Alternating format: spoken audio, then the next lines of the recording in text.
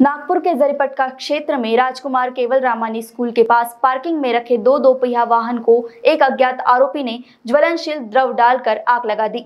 इसमें दोनों वाहन जल गए हैं। यह घटना सीसीटीवी में कैद हो गई। एक युवक ने केवल रामानी स्कूल के पास पार्किंग में खड़ी दोपहिया वाहनों को आग लगा दी। यह घटना सोमवार की सुबह करीब पाँच बजे के दरमियान हुई। वाहन को आग लगाने वाले आरोपी के करतूत सीसीटीवी कैमरे में कैद हो गई। घटना के बारे में शिकायत मिलने पर जरीपटका पुलिस ने शिकायत दर्ज की। आरोपी की तलाश पुलिस कर रही है। पुलिस सूत्रों से मिली जानकारी के अनुसार, प्लॉट नंबर 526 लखवानी भवन के पास जरीपटका निवासी दर्शनलाल किंगरानी ने जरीपटका थाने में शिकायत दर्ज कराई है। उन्होंने पुलिस को बताया कि उनकी गांधीबाग में कपड़े की दुकान है। सोमवार को सुबह करीब पाँच बजे अज्ञात आरोपी ने उनकी दोपहिया वाहनों को आग लगा दी। आरोपी पैदल आते हुए सीसीटीवी कैमरे में नज़र आ रहा है। वह दोपहिया वाहन के पास जाकर खड़ा हुआ। उसके बाद दोपहिया वाहन को आग लगाकर फरार हो गया।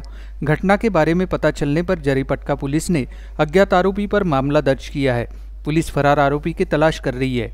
दिनांक पंचवीस चार दोन हज़ार बावीस रोजी पहाटेच्या सुमारास दर्शनलाल किंगराणी, राहणार वसंत चौक, वसंत शहा चौक जरीपटका यांचे पार्किंगमधील चार मोटरसायकल ॲक्टिवा मोटरसायकल कोणीतरी अज्ञात व्यक्तीने, अंदाजे वीस ते बावीस वर्षाच्या मुलाने आग लावून नुकसान केलेबाबतची पोलीस स्टेशन येथे तक्रार दाखल आहे.